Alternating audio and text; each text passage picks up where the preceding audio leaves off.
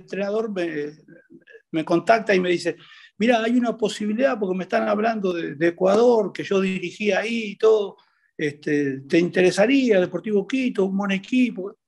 Le digo, sí, le digo, yo hablo, no tengo ningún problema. Bueno, y ahí me contactó este, Vladimir Ortiz, que ustedes lo deben conocer.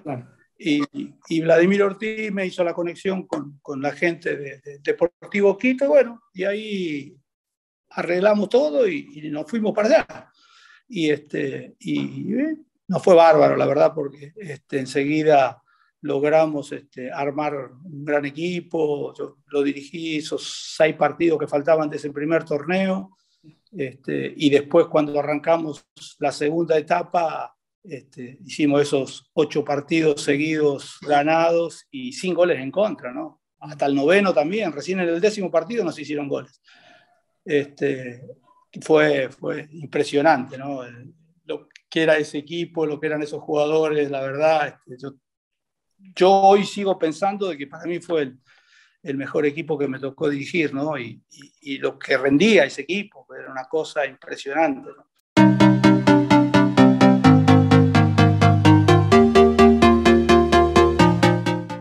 Carlos Luis Isquia, nacido en Buenos Aires, Argentina, el 28 de octubre de 1956, exfutbolista profesional y actual entrenador de fútbol. El argentino fue campeón el año 2011 con Deportivo Quito, también monarca de la Recopa 2008 con el club Boca Juniors de su país. Por Ecuador, pasó por varios otros clubes como son Barcelona, Sociedad Deportiva Aucas y Delfín Sporting Club. Y hoy desde Argentina nos acompaña para hablar en un nuevo programa mensual del Palco de Fútbol. Bienvenidos. Hola amigos y amigas de futbolecuador.com. Eh, bienvenidos a un nuevo programa más de nuestro, de nuestro segmento de entrevistas del Palco de Fútbol. Hoy, como ya es costumbre, este mes nosotros eh, traemos a ustedes a un invitado de lujo, realmente un invitado de lujo, eh, quien aceptó nuestra invitación para hablar con nosotros desde la Argentina. Tenemos eh, nada más y nada menos que al profesor Carlos Isquia, quien fue el último entrenador en sacar campeón a Deportivo Quito, una institución querida del fútbol ecuatoriano. También pasó por Barcelona, su paso por Delfín, por Sociedad Deportiva Aucas y un bagaje extenso, interesante de conversar, campeón también con Boca Juniors. Bueno, no me alargo más para poder iniciar esta charla. Bienvenido, profe. Muchas gracias por aceptar nuestra invitación. No, no, todo lo contrario. Yo siempre soy un agradecido de, tu país. siempre me han tratado muy bien, me han dado trabajo, que es algo que hoy por ahí no lo tengo, pero lo he aprovechado muy bien.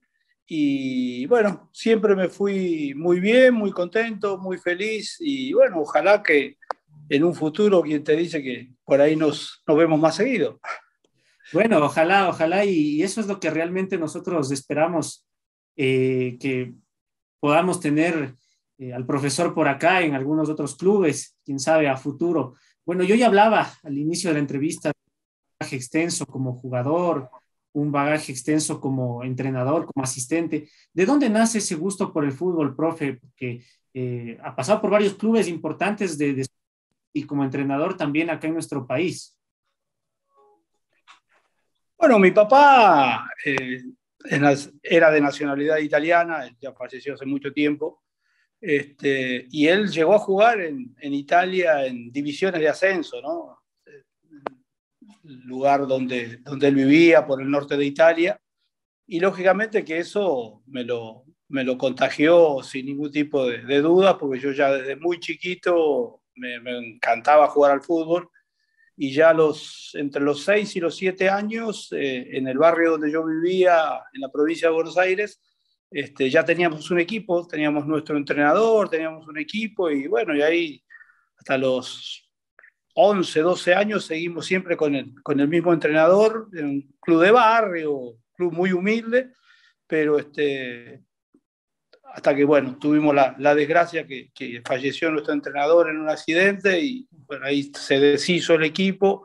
Después fui a jugar a otros equipos de, de barrio y recién fui y me inscribí, me fui a anotar, a probarme en un equipo cuando tenía ya 16 años cumplidos, que fue Chacarita Junior, que fue mi primer equipo y mi último equipo, ¿no? Porque me retiré ahí, este, ya con una lesión en la rodilla y todo lo demás. Pero cuando fui, tenía 16 años cumplidos, este, me probaron tres, cuatro veces, empecé ese año en sexta división y a los dos años de eso, eh, antes de cumplir los 19, ya había debutado en primera división.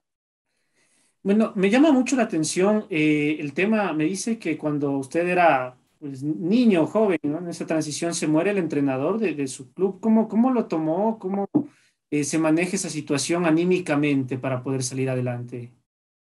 Éramos muy chicos nosotros, ¿no? Teníamos 12 años, este, pero sí tuvimos una determinación que para mí fue muy importante entre todos nosotros, porque lógicamente ese equipo este, tenía muy buenos chicos que jugaban al fútbol y, y todos, este, mucha gente se acercó y se quiso hacer cargo de, ese club y bueno, nosotros al menos desistimos de, de esa situación y no quisimos, en honor a nuestro entrenador, este, y bueno, y el equipo se deshizo, ¿no? Entonces cada uno fue acomodándose en otros equipos que había, en ese barrio, en el otro, en barrios cercanos, y cada uno se fue acomodando, ¿no?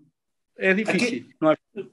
Es una situación realmente complicada, más, más que nada por el tema psicológico. ¿Y a qué edad, profe, usted eh, supo que quería ser futbolista y que quería dedicarse la vida al, al fútbol? Siempre. desde que tengo memoria o uso de razón. No, me encantaba. Vivía con la pelota en mi casa cuando no.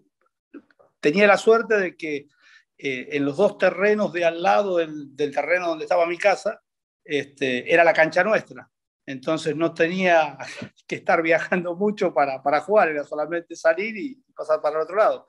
Y cuando no jugábamos ahí en la cancha con el equipo, con amigos, con los compañeros, yo en mi casa me la pasaba con la pelota contra la pared, contra otra pared, no, no, era, era una locura.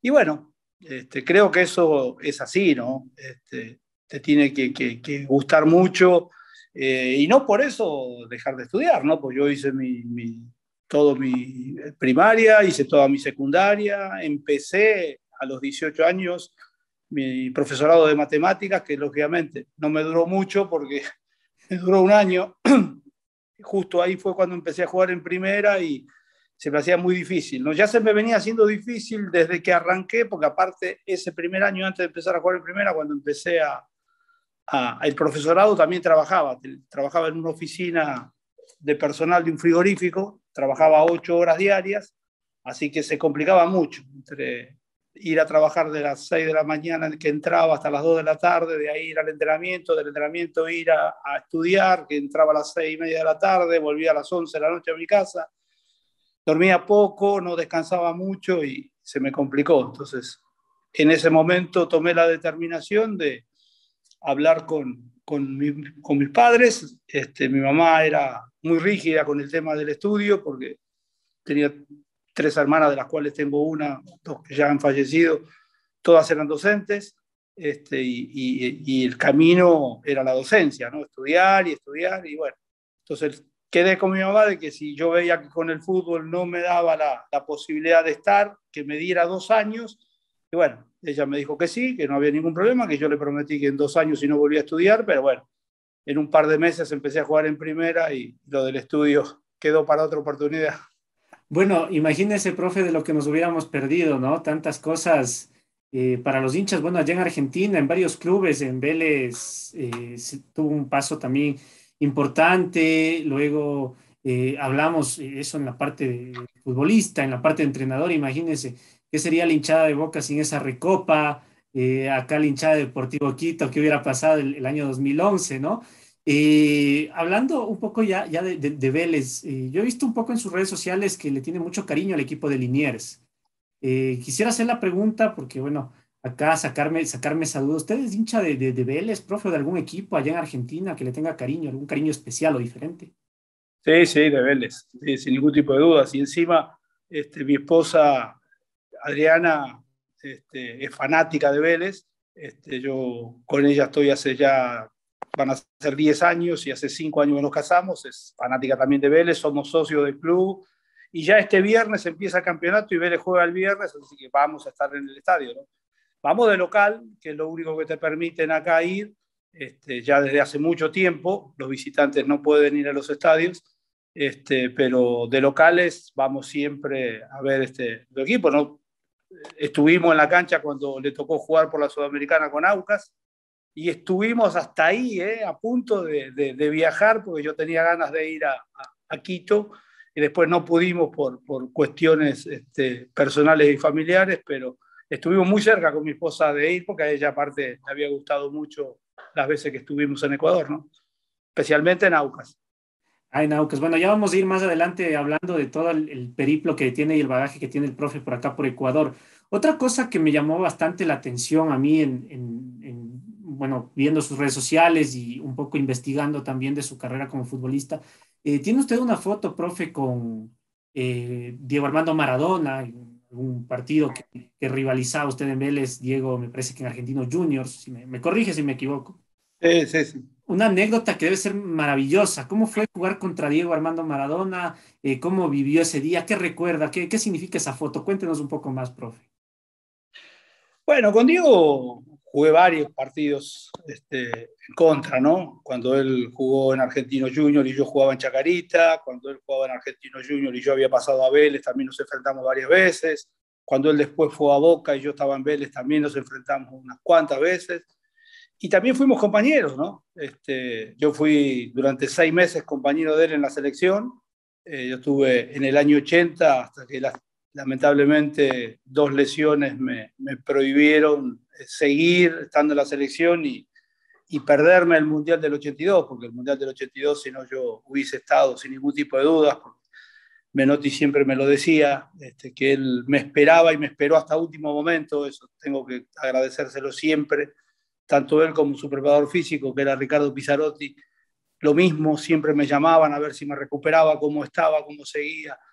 Eh, bueno, yo hice una gira con la selección a, a Europa en el año 80 este, me tocó justamente debutar en un partido contra Inglaterra, estaba en el banco, entré en el segundo tiempo, un partido que perdimos, que Diego hizo una jugada muy parecida a la del gol que después les hizo a los ingleses en, México, este, que la pelota salió muy cerca tocando el palo, que todo el estadio se puso de pie a aplaudirlo por la jugada que había hecho. Este, después hicimos otro partido contra Irlanda, ese estuve en el banco y no me tocó entrar, y después el último con Austria, sí, ese me, tocó entrar en el segundo tiempo y hice una jugada que fue el quinto gol de Argentina, eh, a tres rivales, llegué a la línea de fondo, toqué la pelota adentro, donde siempre nos pedía Menotti que tenía que llegar al punto del penal y que ahí tenía que estar Diego. Y Diego estaba, ¿no? Y fue el único partido de Diego en la selección argentina, entre amistosos y, partidos este, por los puntos. Fue el único partido que Diego hizo tres goles y el tercero se lo di yo. Así que ahí tuvimos siempre una muy buena amistad, una buena relación. No, éramos amigos, amigos, pero siempre tuvimos un gran respeto y, y la admiración de uno por, por, lo que fue como, como jugador, ¿no? sin ningún tipo de dudas. Bueno, como jugador, Diego Armando Maradona, uno de los más grandes de la historia, ¿no? Para algunos, el, más grande eh, es un tema un poco discutido, pero sin duda que ha sido de lo mejor que, ha tenido el planeta entero en, tema fútbol. Y bueno, qué, gratas experiencias eh, las suyas, profe, de poder compartir camerino con, Diego Armando Maradona. ¿Y qué, es, ¿Qué es más difícil, profe? ¿Enfrentarlo? ¿Qué fue más difícil? ¿Enfrentarlo o tenerlo de compañero para, para jugar a Diego Armando Maradona? No, tenerlo de rival, ¿no? Tenerlo de contrario seguro, era imposible. Hasta un partido me expulsaron porque ya no lo podías parar y lo bajé de atrás, estando molestado partido Vélez argentino en cancha de Vélez. Este, hacía tres partidos que yo estaba en Vélez. Vélez recién me había comprado y, y, este, me expulsaron. Bueno, después me tomé la revancha en el partido de vuelta. Le ganamos en la cancha de Argentino 2 a 1 y, y yo hice un gol, el segundo gol, y, estábamos, creo que con 10 o hasta con 9 jugadores quedamos hasta el final. Y, bueno, pero son cuestiones, ¿no? Me ha tocado ganar, me ha tocado perder. Pero lo mejor y lo más lindo fue cuando fuimos compañeros, ¿no? Tuvimos una, buena relación, eh, éramos pocos en el, en el, plantel, era él, eh, era Menotti, eh, no me acuerdo si Pasarela también y, y, Luque, éramos tres o cuatro que utilizábamos una marca de, ropa deportiva eh, completamente distinta a todos los demás, ¿no? Este, y, me acuerdo que cuando llegamos a, Inglaterra para jugar ese partido que te decía antes, este, me suena el teléfono de la habitación y, y me dice, hola Carlos, me dice, mira, soy Diego, ¿por qué no te venís a la habitación? Y viste, como uno siempre dice que, que uno que es nuevo, que, que, va por primera vez, te hacen el chiste, te hacen la broma, te hacen esto, te hacen creer que... Y yo dije, nada, dejate de joder, ¿quién habla? ¿Viste? Porque siento que no soy. Soy yo, Diego, me dice. Vení a la habitación mía, dice que tengo acá unas cosas para vos. Bueno, me convenció, fui, era él, sin ningún tipo de dudas, ¿no? No, no, no había sido una broma como yo imaginé de un principio. Y no, tenía botines, ropa, todo lo que le había dado la, la empresa esta que, participábamos juntos a él, para, se la habían dejado toda a él, la, la, parte que era, me correspondía a mí, la que correspondía a dos o tres jugadores más.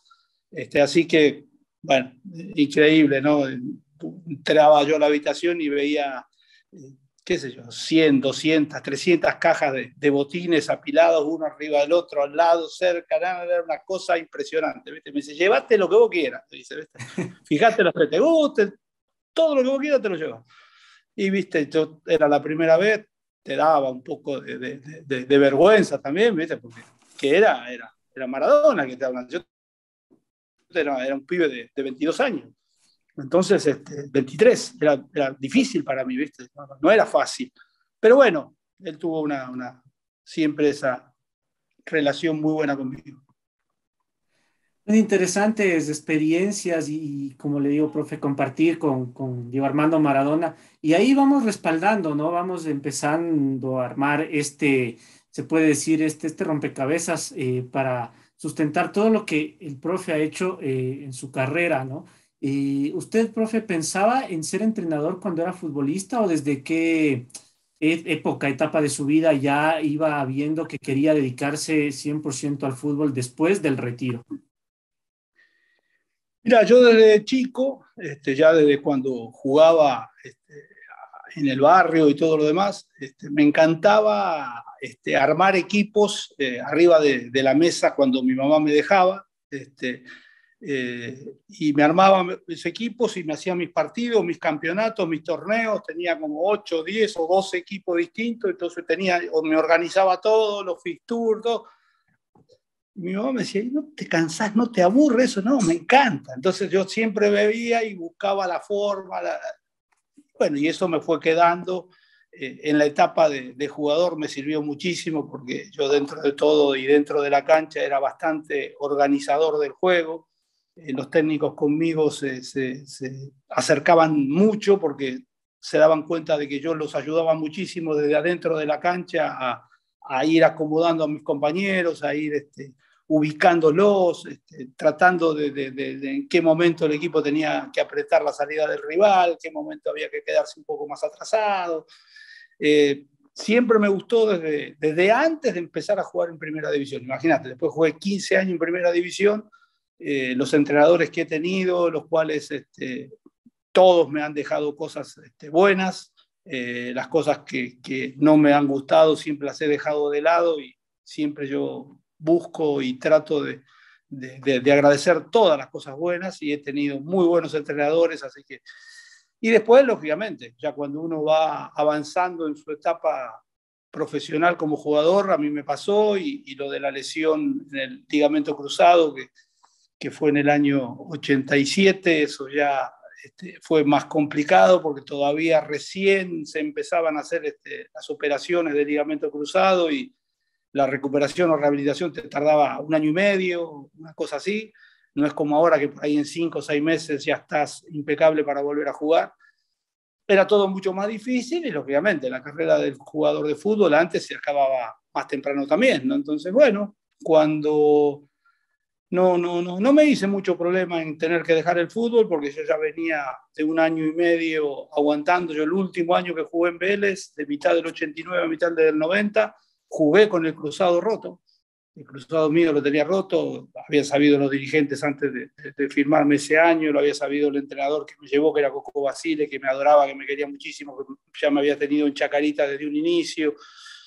Igualmente jugué un montón de partidos, jugué creo que como 29 o 30 partidos de, de 38, o sea, fueron muchísimos, muy poquitos que no, no estuve presente.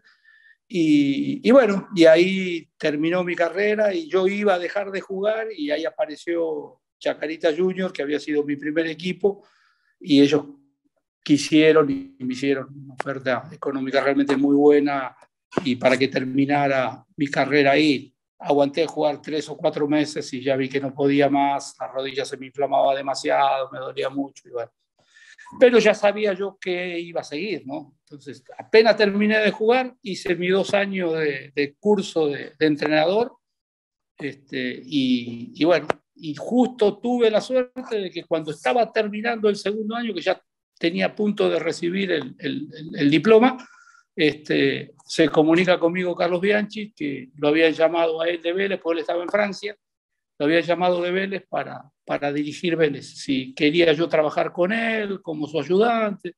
Y le dije, Carlos, lo mejor que me podría haber pasado es esto. Así que me dice, bueno, mira que yo no tengo mucha experiencia tampoco, porque dirigí acá un equipo solo en Francia. Ya tranquilo, le digo, yo justo esos últimos seis meses de mi segundo año de, del curso de entrenador, había elegido Vélez para ir a ver los entrenamientos, para ir a ver los partidos. Entonces los conocía realmente impecable, ¿no?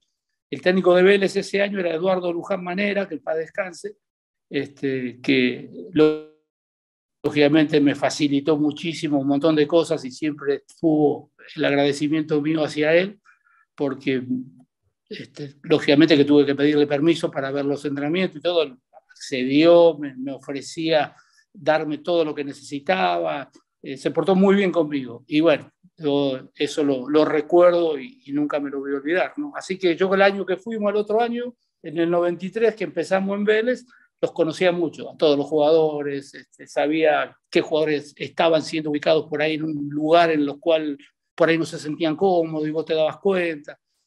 No, no, no me sirvió muchísimo y bueno, a Carlos lo mismo porque Carlos hacía 17 años que no estaba en el país, ¿no? Entonces, lógicamente que eso le vino también muy bien a él. Bueno, y creo que hicimos una, una, buena dupla este, en, Vélez, en Boca.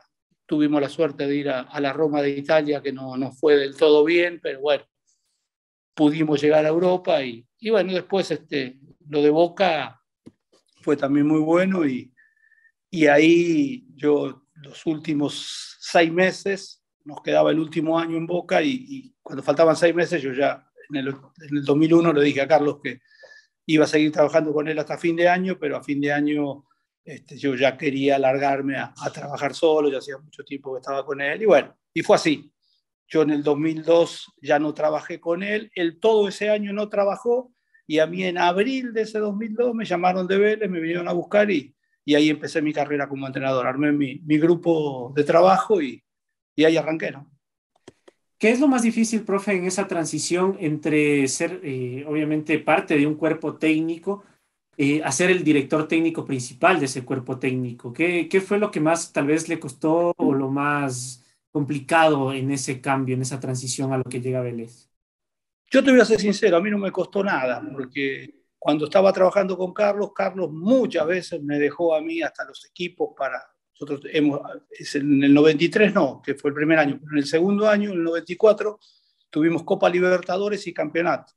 Y la Copa Libertadores en esa época era de otra manera, los viajes eran completamente distintos, vos te tenías que ir tres o cuatro días antes para poder estar en el lugar, eran viajes muy largos, los trayectos eran complicados. Entonces muchas veces este, vos tenías que jugar el, torneo local un día domingo y el miércoles tenía que jugar, pero el equipo tenía que viajar, el que jugaba ese partido del miércoles, por ahí viajaba el sábado o el mismo domingo. Entonces, Carlos, ¿qué hacía? Se iba con los 11 titulares que él tenía en la cabeza para el partido de Copa y tres o cuatro jugadores más, y después me dejaba el resto del plantel y yo subía a, chicos de, la reserva, de, la cuarta división, y competíamos con, con, ese equipo en el campeonato. ¿no? Entonces, yo tenía mucha llegada los jugadores, ya eh, no era casi un ayudante, era como otro entrenador y, Carlos confiaba mucho en mí, prueba de ello que me dejó tanto en Vélez como en Boca hacer pretemporadas a mí directamente. Cuando fuimos a Boca la primera pretemporada, Carlos estaba en el Mundial del 98, este, pues justo nosotros fuimos a mitad de año, en junio, y él recién pudo volver los primeros días de julio cuando ya terminábamos la pretemporada. Así que toda la primera pretemporada de Boca la hice yo con el profe Santela, ¿no? Pero entonces no, no, no, no me costó nada, para nada me costó. Yo tenía muy buena relación siempre con los jugadores, soy de hablar mucho con ellos, de, de interiorizarme sus inconvenientes, sus problemas, sus cosas buenas, estar muy cerca de jugar, ¿no? Después le toque jugar o no le toque jugar, es una cuestión en la cual uno se los explica desde un principio, está más que nada en una cuestión de ellos y no mía, ¿no? Porque si uno ve que un jugador se mata en los entrenamientos y en los partidos rinde, ¿cómo haces para sacarlo? No lo podés sacar, es, algo simple, ¿no? Entonces, está en ellos la predisposición y, esa posibilidad de, no darle al entrenador que lo reemplace, ¿no? Pero bueno, este, lógicamente uno sabe que los planteles son siempre de 25 o 30 jugadores y, piensa en todos, ¿no? Este, después, bueno, al margen de lo que suceda. Bueno, entonces interesante la transición, eh, toda esa escuela con Carlos Bianchi, eh, todo lo que el profe también ha ido aprendiendo. Pienso que las matemáticas, el gusto por las matemáticas o la habilidad por las matemáticas del profe es algo que también influye en el tema táctico, técnico, ¿no? Sí, sí, lógico, claro. Todo influye, todo influye. El hecho de haber este, también este, estado en, una familia eh, con mis padres, con, mis hermanas que eran docentes, que eran muy instruidas, que, se hablaba realmente muy bien, que te explicaban las cosas de muy buena manera, que aprendió muchísimo. Bueno, y todo este tiempo, últimos 10 años, estoy con Adriana y Adriana también es profesora de historia, vos fíjate cómo son las cuestiones. Entonces, este, sigo aprendiendo. La verdad que este, esto es este, muy, muy lindo y, bueno, a mí me ha gustado siempre, así que para adelante. Una, una vida de fútbol rodeada de docencia, se puede decir, ¿no? Es que el fútbol es docencia, ¿no? Si vos no, no, como entrenador no sos un docente, es complicado este, si no entendés a los jugadores. Yo sé que hay entrenadores que no, lo he tenido y, no les interesa y no les importa y, no se preocupan por ahí por el jugador o, por las cuestiones que pueden pasar. Eh, no es mi caso. En mi caso, en ese sentido, sí me preocupo y este, les toque jugar o no les toque jugar, porque eso no, no es una cuestión de que eh, solamente te preocupas por los que son titulares o los que van a jugar casi siempre, los que más juegan. Uno se tiene que preocupar por todos, ¿no? Y yo, por suerte, he conformado un buen grupo de, gente en la que trabaja conmigo, eh, en la cual, este, lógicamente, también eh, se preocupan mucho por esa situación, ¿no? Así que eh, creo que nos hemos manejado bastante bien y hemos tenido muy, muy pocos inconvenientes. Bueno, eso es importante, ¿no? Como dice el profe, el, el fútbol también es docencia y hay que tomarlo mucho en cuenta. Son partes de las claves también del éxito. Eh, profe, antes de pasar a la parte ya acá en Ecuador y toda su trayectoria acá en nuestro país, eh, quiero hacer una pregunta porque me llama mucho la atención sobre eh, ese Boca campeón de la Recopa Sudamericana 2008 con Arsenal. Fue, ¿Cómo fue esa vivencia? ¿Le saca a usted campeón a un equipo que, lo tomó después de haber sido campeón de América, haber sido subcampeón, me parece también del, Mundial de Clubes, eh, que sale Miguel Ángel Russo, deja el cargo, lo coge Carlos y es campeón el equipo con unas estrellas pero magníficas, Palermo, Palacio, Riquelme. Eh, ¿cómo, ¿Cómo vivió eso y cómo se maneja un camerino con tanta estrella? Bueno, la etapa anterior que yo había estado un poco con Bianchi, habíamos logrado seis títulos este, habíamos logrado dos Copas Libertadores, una Intercontinental, que le habíamos ganado al Real Madrid, la segunda la perdimos con el Bayern Múnich, eh, y habíamos ganado tres títulos locales, ¿no? Eh, tres torneos de Argentina. Eh, y muchos de esos jugadores, o algunos de esos jugadores, yo después los volví a tener cuando volví en el 2008, el caso de Riquelme, el caso de Palermo, el caso de, de Bataglia. Eh, No, no, no, yo he tenido mucha tranquilidad para manejarme, para, conversar, he tenido muy, buenos este, jugadores siempre, eh, me han colaborado siempre en todo. Y lo que yo hacía cuando me tocaba jugar, este, medio como dirigir desde adentro de la cancha, eh, he tenido jugadores, el caso de Román, el caso de, Martín, el caso de, de Bataglia, son jugadores que, que tenían más responsabilidades ellos mismos dentro de la cancha, por eso, por manejar el equipo, por, saber qué era lo que el entrenador quería y lo que ellos también querían, ¿no? Entonces uno sabe que, Boca eh, es ganar siempre su, objetivo y, uno lo tiene y lo maneja en todos los equipos, ¿no? Pero bueno, uno sabe de que también hay equipos grandes como Boca, River, en Argentina, que tienen mayores chances o mayores posibilidades de incorporación de jugadores, de la cuestión económica. Entonces, vos sabés que en esos lugares es difícil este, no, no, no pelear el campeonato. ¿no? Nosotros, ese 2008, el primer semestre salimos segundo de campeonato local de River. River ganó el campeonato y nosotros salimos segundo. Llegamos hasta semifinales de, de la Libertadores, este, que perdimos con, con, los brasileños. Fluminense. Fluminense, este, que fue la copa que ganó Liga de Quito, ¿no? Este, y vos fíjate cómo fue eso. Dos meses después de que Liga ganó la Copa Libertadores, se enfrentó con nosotros en la Sudamericana y nosotros eliminamos a Liga. Y yo ese partido, el que jugó en cancha de Boca y el que jugué en, Quito, lo jugué con la mayoría de suplentes y, chicos juveniles. Claro, estábamos peleando el campeonato y yo quería ganar el campeonato local, que lo terminamos ganando a fin de año. En el 2008 ganamos el campeonato en Argentina y, la Recopa la habíamos ganado creo que en agosto, una cosa así, con Arsenal. Bueno, juveniles, eh, me acuerdo yo, eh, el buen arquero Javier García creo que estaba en ese, en ese, en ese partido. Javier García. Dátolo también estuvo, tal vez. Sí, Dátolo no era tan juvenil, era joven, pero ya venía con, años de primera. Después Nicolás Gaitán yo lo hice debutar. No, no, una cantidad de, chicos y este, Forlín, un central que, a veces también lo, hacía jugar de volante central y, rendía en todos los lugares que lo ponía, Beatri, Noir, no, una cantidad de jugadores. Este, Ricardo Noir que está en, Bolivia jugando. Y jugó en Barcelona también Ricardo Noir, el Claro, sí, sí, Ricardo Noir, y te digo más, Ricardo Noir, eh, cuando nosotros fuimos a jugar un partido este, amistoso, eh, que era la... Eh, la Copa que juega el Barcelona en, España, que juega siempre todos los años. Joan Camper. Esa. Este, fuimos a jugar y, Ricardo hizo un partido bárbaro, lo, lo metí a jugar y querían comprarlo. Querían comprarlo, hasta hicieron una oferta y todo, y chico dijo, no, en este momento no, el club no lo quería vender, hacía cinco partidos, seis partidos que estaba jugando en primera, y no era titular, era suplente entraba, pues, yo tenía Palermo, tenía Palacio, tenía Beatri, o sea, tenía a Mouche, tenía delanteros este, importantes. Pero bueno, este, es así. A mí siempre, todos los equipos que he jugado eh, y que de los que he dirigido, siempre me gustó este, utilizar juveniles, ¿no? Bueno, me pasó muchísimo en Ecuador. Hay una cantidad de jugadores que, que, han debutado conmigo o se han mantenido conmigo, ¿no? El caso de, Pedrito Velasco, que veí que, jugaba ayer, este, al que él reemplazó, que lo tuve en Aucas, el que es titular que está lesionado, ese yo lo hice debutar en Aucas en primera.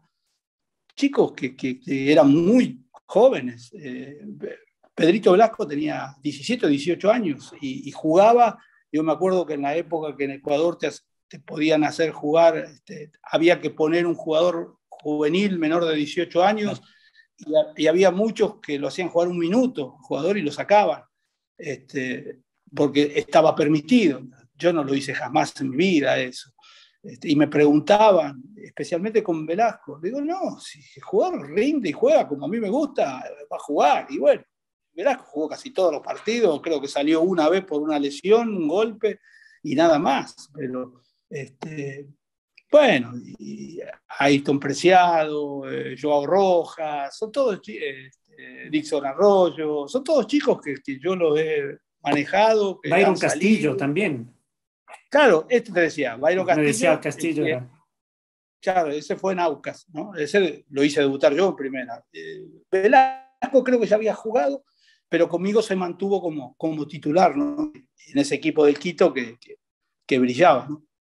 Bueno, entonces ahora pasamos a hablar, justo ya nos metimos en el tema acá de, Ecuador. ¿Por qué Ecuador, profe? ¿Qué le llamó la atención del fútbol ecuatoriano? Eh, ¿Por qué se decidió en venir a Deportivo Quito? ¿Quién lo contacta y cómo se da ese traspaso al equipo Chuya? Sí, yo estaba este, sin, sin trabajar y, este, y justo me, me contactó un, un, amigo mío acá que, que había, este, no me acuerdo ahora el apellido, pero había trabajado en, Ecuador y, creo que hasta había dirigido el, el, Deportivo Quito hacía tres o cuatro años. Eh, no sé si en el 2008, 2009 había trabajado como, como técnico. Eh, es conocido, pero dos, ahora dos, se me fue. De... ¿Insúa 2009? No, Insúa no. 2008. ¿Quién? Carlos Sevilla en el 2008. No, no, no, no, era argentino. Eh, argentino, Insúa, en Deportivo. Bueno, Fabián Bustos, pero bueno, Fabián Bustos estuvo antes. No, profe. Fabián Bustos lo reemplazo yo en el Deportivo sí. Quito. No, no, pero antes, ahí nomás antes, bueno, es, ese entrenador me, me contacta y me dice, mira, hay una posibilidad porque me están hablando de, de Ecuador, que yo dirigía ahí y todo, este, ¿te interesaría Deportivo Quito, un buen equipo? Le digo, sí, le digo, yo hablo, no tengo ningún problema. ¿viste? Bueno, y ahí me contactó este, Vladimir Ortiz, que ustedes lo deben conocer, y, y, Vladimir Ortiz me hizo la conexión con, con la gente de, de, Deportivo Quito, bueno, y ahí arreglamos todo y, y nos fuimos para allá. Y, este, y eh, nos fue bárbaro, la verdad, porque este, enseguida logramos este, armar un gran equipo, yo lo dirigí esos seis partidos que faltaban de ese primer torneo, este, y después cuando arrancamos la segunda etapa, este, hicimos esos ocho partidos seguidos ganados y sin goles en contra, ¿no? Hasta el noveno también, recién en el décimo partido nos hicieron goles. Este, fue, fue impresionante. Lo que era ese equipo, lo que eran esos jugadores, la verdad, este, yo yo hoy sigo pensando de que para mí fue el, mejor equipo que me tocó dirigir. Y, lo que rendía ese equipo, era una cosa impresionante.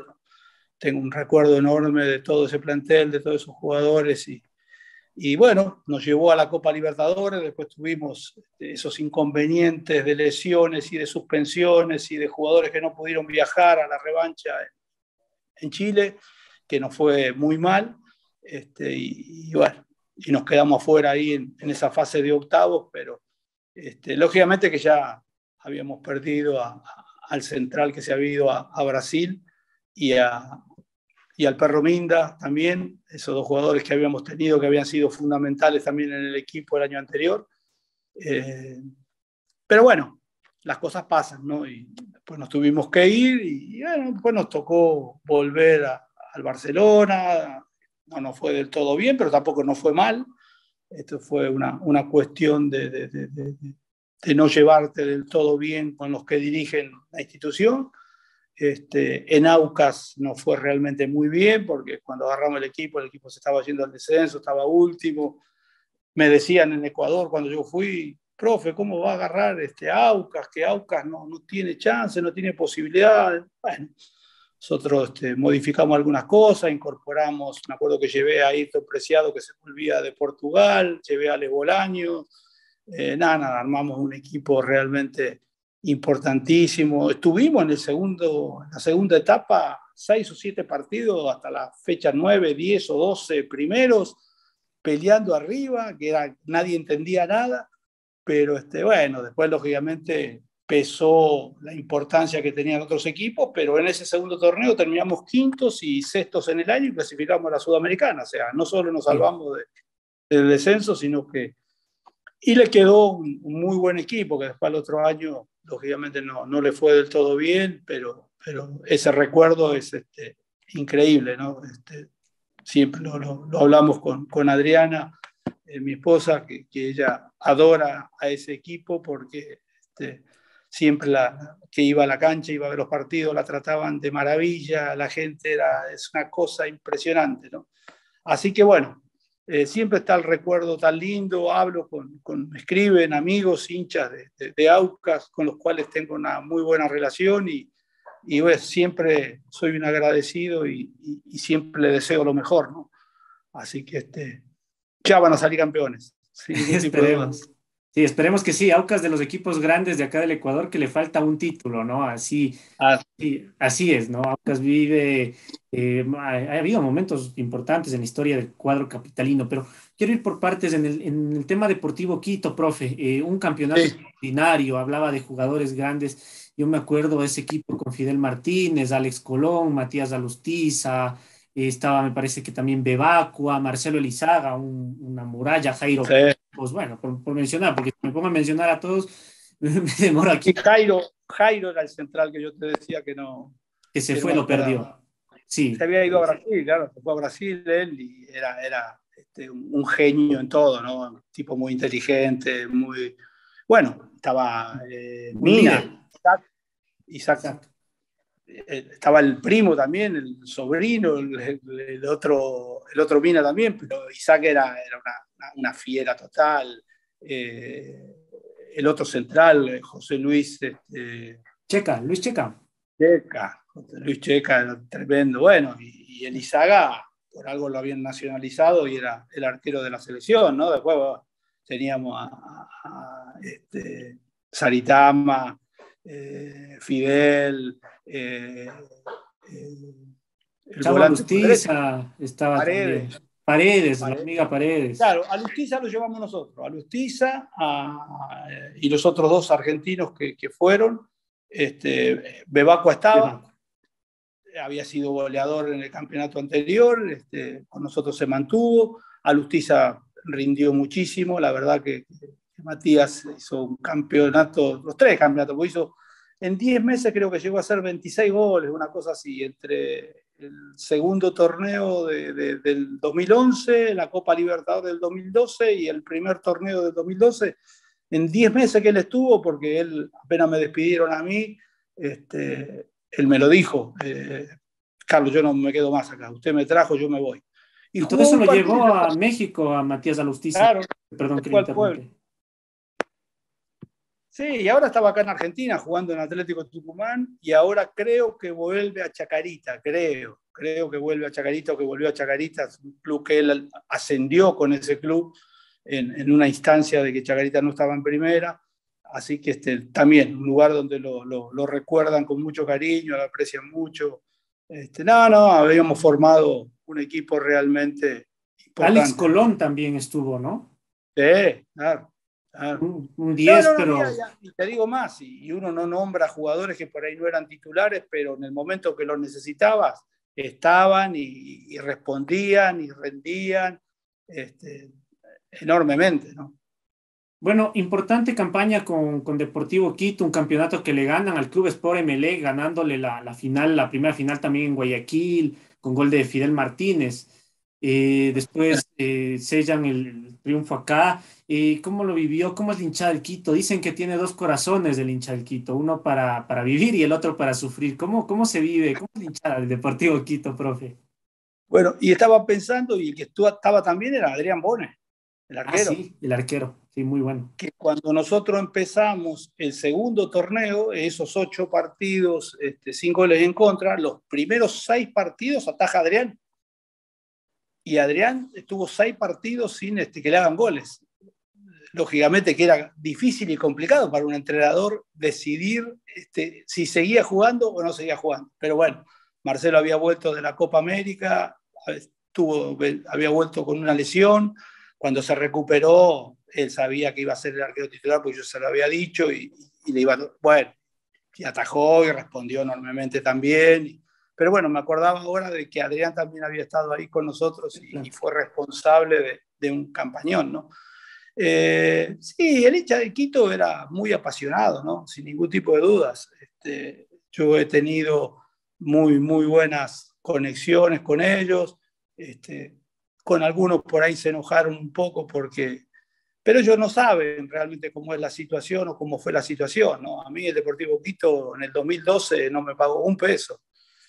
Este, y, yo le hice juicio por FIFA porque tuve hasta mitad de año este, y durante ese 2012 terminé de cobrar lo del 2011, entre los sueldos, los premios. Por suerte, lo del 2011 lo pude cobrar, pero el 2012 no cobré nada, entonces era, era mucho dinero, era mucha plata. Yo gané el juicio, se lo gané por FIFA, pero bueno, eh, como el Deportivo Quito nunca pagó las cuestiones que le pedían, le fueron descontando puntos y así ha perdido las categorías, no solamente por lo que yo reclamaba, sino por lo que reclamaba otra gente también, no, no he sido yo solo.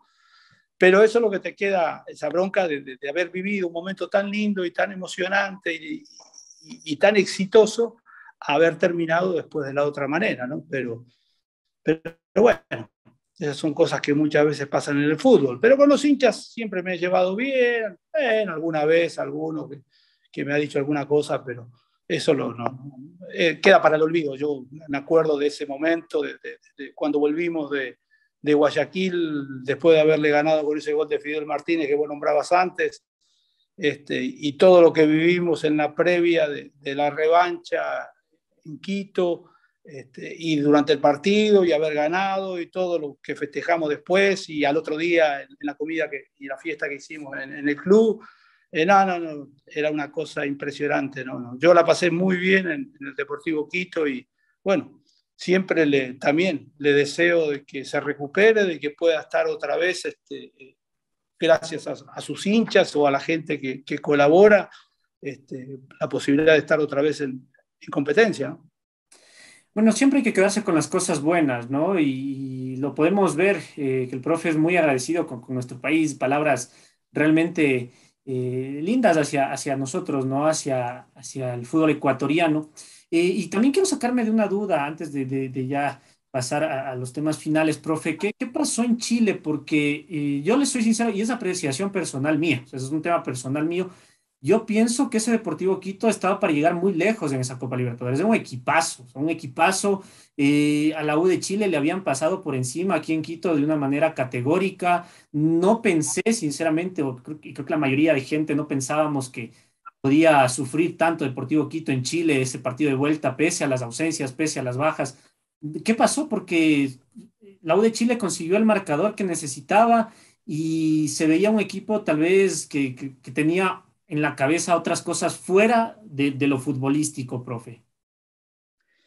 Sí, ya venían los, los inconvenientes en la institución, ¿no? Ya cuestión de, las deudas no era solamente conmigo, sino que era también con, varios de los jugadores, este, estaban muy atrasados. Eh, para ese año 2012, Quito había incorporado también varios jugadores para, para agrandar el plantel. Eh, bueno, todo eso pesó creo que mucho. Pero igualmente eh, nosotros habíamos conseguido un resultado muy bueno en el partido de ida, pero yo siempre se los había dicho a los jugadores, este, nosotros le ganamos a un gran equipo. Era la base de la selección chilena, esa Universidad de Chile que la dirigía, este, ¿cómo es? Que está en... San Paoli. Claro, San Paoli era el técnico. Este, era un equipo muy, muy este, difícil, complicadísimo. En Quito por ahí sintieron un poco, a pesar de que ellos el año anterior le habían ganado a Liga de Quito, en Quito, sin ningún problema, pero este, nosotros le hicimos sentir el, peso de, de, la altura, de la ciudad, del ritmo del juego, este, pero yo sabía, y bueno, y después aparte tuvimos este, dos o tres jugadores expulsados, lesionados, dos jugadores que no pudieron salir por, por problemas personales que tenían, que, que, no lo dejó salir este, eh, la, eh, sí, sí. Sí, en el aeropuerto, que no se les podía dejar salir. Exacto. Creo que la pensión es entonces, algo así. Claro, exacto. Nosotros viajamos con, creo que viajé con 18 jugadores y los cuales tres eran arqueros, ¿no? Entonces no tenía mucho recambio tampoco. Este, pero bueno, eh, el partido realmente fue muy favorable para ellos. Yo creo que hasta en algún momento se me pasó a mí por la cabeza decir ojalá que termine porque nos llevamos 10, eh, porque tuvieron situaciones, a pesar de que nosotros tuvimos en el primer tiempo una jugada muy clara que había sido penal cuando estábamos 0 a 0, una pelota que le pasa al defensor y, la controla Matías y patea y el defensor se tira así medio con la cabeza, pero le puso el brazo, este, que el referí, que el argentino, no, no cobró el penal. Eh, y después en el segundo tiempo, no me acuerdo si estábamos 3-0, sí, creo que 3-0 o 4-0 ya, una pelota que pegó en el palo, pero tuvimos muy pocas situaciones, ¿no? Y, y después este, tuvimos muchas deficiencias este, en, en, controlar el partido, eh, en marcar, en, nos hicieron goles realmente, bueno, tuvimos un gol que se desvió, no me acuerdo si era en Saritama o en alguien, fue un gol que se desvió completamente la pelota de cómo venía el recorrido, o sea, eh, no tuvimos suerte, jugamos muy mal, eh, no merecíamos para nada pasar y, creo que ellos nos ganaron muy bien, sin ningún tipo de duda, ¿no? Entonces uno tiene que, ubicarse y bueno, terminado el partido, este, querían conversar conmigo, el presidente y, Vladimir, que era el, que llevaba y, traía las cosas del presidente bueno, conversamos, quedamos en, conversar de vuelta en cosas y bueno, se ve que estuvieron pensando en ese tiempo y, primero intentaron este, despedir a, uno de mis profes este, porque había tenido un altercado y había dicho, él había hecho unos comentarios también con el tema de las deudas y todo lo demás. Entonces este, yo le dije de que no, que de mi cuerpo técnico no se iba nadie este, y no me podía echar a nadie y después me insinuó también con que tampoco querían al, al, ayudante, dije que no tampoco, entonces me dice, bueno, entonces tienen que ir todos. Y bueno, y nos tuvimos que ir todos. Este, yo no iba a dejar de que sacaran de, de, mi cuerpo técnico a, nadie.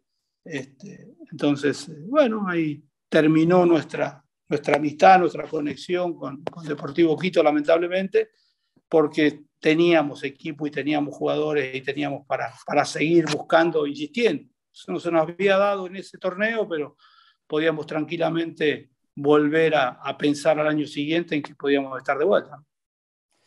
Bueno, una lástima que haya terminado así la, la situación con Deportivo Quito, pero bueno, yo estoy seguro que los hinchas y, y la gente se queda con, con, lo más bonito, ¿no? Ese título 2011 esa Copa Libertadores 2012 hasta el, antes del partido en Chile, una Copa Libertadores muy, muy buena, eh, con destacadas actuaciones eh, de parte del equipo del profe Carlos Isquia. Eh, bueno, y para ya ir cerrando este tema aquí en Ecuador, ir a, lo, último de la entrevista, nos hemos alargado un poco, está muy interesante la charla. usted dirige Aucas y dirige Deportivo Quito. Acá, sobre todo, el, hincha de liga lo toma como clásico jugar contra Aucas y contra Deportivo Quito. Y desde su punto de vista, profe, ¿cómo se viven los dos partidos y, cuál considera que podría ser un clásico? ¿Cuál se vive como un clásico? ¿Quito Liga o Aucas Liga? ¿Cuál es el partido que se vive más intensamente? Yo te podría explicar porque yo los viví todos intensamente, ¿no? Eh, cuando me tocó enfrentar con Quito a, Liga también de una manera espectacular, eh, con Aucas lo mismo, hemos tenido la, suerte y la fortuna de, con Quito ganarle a, Liga, este, jugando de visitante, eh, con Aucas ganándole también de local y de visitante. Eh, siempre le hemos hecho, hecho fuerza, ¿no? Y hace dos años con el Delfín perdimos 1 a 0 en Quito, jugadores hacía seis meses que no pisaban la altura, este, y, se les complicó un poco, pero nos ganaron 1 a 0 con un gol de tiro libre y en el segundo tiempo, los últimos 15 20 minutos, lo metimos adentro del arco y no lo empatamos de casualidad, ¿no? Entonces, pero bueno, este, para mí, tanto Deportivo Quito como Aucas, cada vez que le tocaba enfrentarse con Liga, era un clásico importante, ¿no? sin ningún tipo de dudas. Así que no podría decirte yo cuál es el verdadero clásico. Yo creo que, y no solamente entre ellos, ¿no? porque todo este último tiempo, lo que han avanzado este, eh, Independiente del Valle, eh, Universidad Católica, eh, también son equipos importantes y, Quito tiene una, cantidad de equipos impresionantes, ¿no? Que bueno, que es muy bueno y, saben aprovechar las posibilidades y las situaciones y lo están demostrando, ¿no? ¿Qué fue lo que más le gustó, profe, de vivir eh, en nuestro país? Vivió en Guayaquil, vivió en Manta eh, y vivió en Quito. ¿Qué, es lo más lindo del, Ecuador en el tema tal vez social, no sé, gastronómico? Un tema fuera fútbol, fuera de fútbol. Bueno, Quito me gustó muchísimo porque aparte fue la ciudad en donde más viví. Estuve dos años y, pico, este, un año y pico o un año casi entero en, Quito y, un año también en, Aucas. Este, eh, fui a hacer una pretemporada con, con Barcelona a, Quito, a, la casa de la selección también, entonces tuve mucho tiempo y, y Quito lo que me gusta de Quito es la parte histórica, ¿no? Y más la he visto y, la he disfrutado y he aprendido eh, el año que estuve en Aucas, porque, te decía antes, este, mi esposa es profesora de historia y ella le encantó Quito, ¿no? Le encantó Quito. Quito es una ciudad que, bueno, todas las mediodía que podíamos nos íbamos al centro a, pasear, a caminar, a visitar esto, a visitar aquello, a visitar lo otro. Conocí muchísimo Quito eh, cuando estuve en Aucas. Eh, Adriana me, llevaba y íbamos para todos lados y, y, es hermoso Quito. Quito, la verdad que, que uno dice este, un montón de cosas o escucha, pero Quito es una, una, ciudad espléndida, sin ningún tipo de duda, ¿no? en todo sentido. Guayaquil también vivimos bien, me gustó mucho. Eh, Manta es muy lindo porque tiene la playa, es otra vida, es otro tipo de, son otro tipo de ciudades, ¿no? Otro clima, eh, pero Quito es este, fuera, fuera, fuera de, serie en ese sentido, ¿no? Eh, sí, sin ningún tipo de dudas, este, lo, que más me gusta, a pesar de que me ha tocado sufrir por ahí este, algún movimiento, algún terremoto, algún sismo, eh, varios, este, pero el que más lo, me, complicó fue cuando estuvimos con, con Aucas en, Guayaquil, ¿no? Eh, la vez esa de, del sismo que fue tan que dejó tantas este, vidas, este, mucha gente sin vida en el 2000 16. 17 me parece que era, profe. No, no, no, 16. En abril del 16, pues yo estaba Perdón, 16, claro. Sí, fue un, mes antes de, de, de, irme yo, que me despidieran de, Aucas. Así que, este, que la pasamos bravo porque hacía cinco minutos que habíamos llegado al hotel en Guayaquil, ¿no?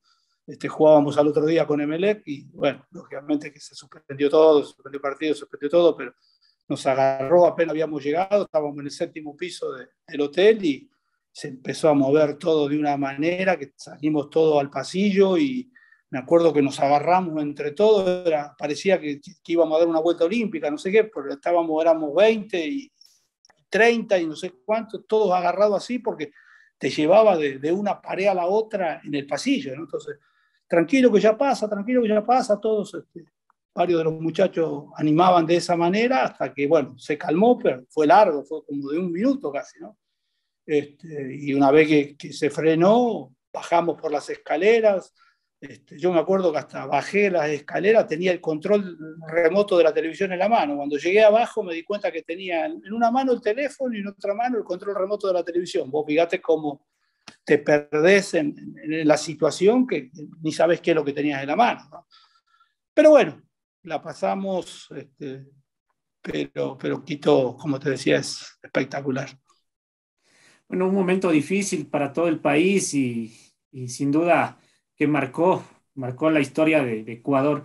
Eh, profe, ¿le han llamado de Ecuador? ¿Ha tenido algún acercamiento? ¿Quisiera volver a dirigir pronto por acá? En este último tiempo no. Este, sí he tenido, pero de equipo de, ascenso y, bueno, yo lógicamente que, me es difícil, ¿no? Este, pero no, no, equipos de primera división no, pero bueno, lógicamente, sí, seguramente con, muchas ganas y con mucho deseo, este, iría otra vez a, Ecuador, ¿no? Si es Quito la ciudad, mucho mejor, y si no, bueno, me ha tocado ir a Guayaquil, me ha tocado ir a Manta y no he tenido inconvenientes, al contrario. Este, Ecuador es todo lindo, ¿no? Yo hablé de Quito porque es la ciudad que más viví, la que más estuve y estuve dos años en el día a día y entonces lógicamente uno conoce mucho más. Pero, pero Ecuador es todo muy lindo, ¿no? Entonces, este, y, la gente, yo me he encontrado con, con, ecuatorianos, acá en Argentina, lógicamente con muchos, y, y muchas veces que hemos estado de viaje con, con Adriana en Europa, en Estados Unidos, en los distintos lugares que hemos ido, porque la verdad que hemos viajado bastante, este, lógicamente todo anterior a, a la pandemia, ¿no? Este, nos hemos encontrado con, con, mucha gente que vos decís, no, ¿quién te va a conocer acá? Estás este, en Barcelona, estás en, en, Ámsterdam, estás en Madrid, estás en Roma, en París. Y sí, y un montón de ecuatorianos hemos cruzado y, y te reconocían, y te venían y te saludaban, sean de un equipo, sean del otro. Este, siempre fue muy, muy agradecida la gente conmigo, ¿no? Así que, lógicamente, que no lo pensaría dos veces si, si hay una posibilidad de ir a trabajar. ¿no? Bueno, esperemos que se dé, esperemos volverla a tener por acá, profe. Eh, ahora sí, ya la última para poder cerrar. Bueno, encarga, encárgate vos. De sí, hay, que, hay que hacer promoción, hay que hacerle promoción al profe. Los contactos. Ah. Para que pueda estar por acá, ¿no? Sí, es, es, es como le digo, para nosotros, eh, como medio de comunicación, eh, un honor haberlo tenido en nuestras cámaras y ojalá pues algún momento que regrese el profe para acá a dirigir podamos eh, hacer alguna entrevista presencial también que vaya pasando un poco esto de la pandemia. Eh, ya para ir cerrando, queríamos pedirle, profe, si fuera tan amable de enviar un saludo a todos los seguidores de nuestra página, de nuestro medio footgolecuador.com. Sí, sí, un saludo enorme para todos ellos. Eh, bueno, ustedes que me han este, contactado eh, me han tratado de, de, de, la misma manera que te decía yo que siempre me han tratado en el país. Y bueno, este, muy agradecido por, por, por, esta posibilidad, por esta nota, por recordar cosas muy lindas. Siempre es bueno, hace bien. Este, y bueno, ojalá que, y si no se da, algún día volveré de paseo, ¿no? Porque esa es una, una deuda también que tenemos pendiente con Adriana, si no será por trabajo, algún día vamos a, volver a, Quito a, a, pasear, a Guayaquil también. Este, es algo que, que, nos debemos por ahí para, para un momento más tranquilo. Por supuesto, y acá será bienvenido, profe, usted, su familia, eh, con los brazos abiertos, el cariño y eh, bueno, la admiración que, tenemos la gente acá que nos gusta el fútbol y el buen fútbol eh, por usted y su trabajo, pues va a ser enorme siempre, profe. Una vez más, agradecemos su presencia con nosotros. Esperamos que la haya pasado bien, que haya sido una charla bastante amena. Nosotros la disfrutamos mucho. Y también queremos agradecer a todos nuestros seguidores por habernos acompañado en un programa más del Palco de Fútbol con el profesor Carlos Isquia. Bueno, un abrazo enorme, un saludo y que la pasen todos muy bien. Muchísimas gracias.